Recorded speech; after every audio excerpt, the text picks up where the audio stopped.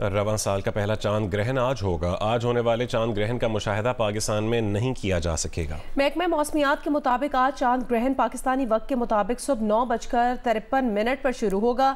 चाँद ग्रहण दोपहर बारह बजकर बारह मिनट पर उरूज पर होगा, जबकि चाँद ग्रहण का अख्ताम दोपहर दो बजकर बत्तीस मिनट पर होगा।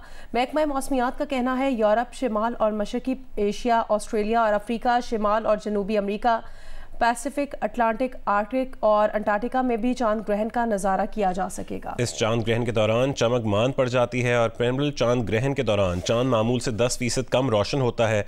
इस चाँद ग्रहण का मुशाह आमतौर पर बहुत मुश्किल होता है।